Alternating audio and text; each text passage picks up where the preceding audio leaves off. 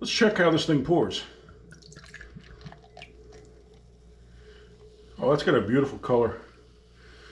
Just love the color of this beer. It's got a decent head on it. There we go. One full bottle, no spill.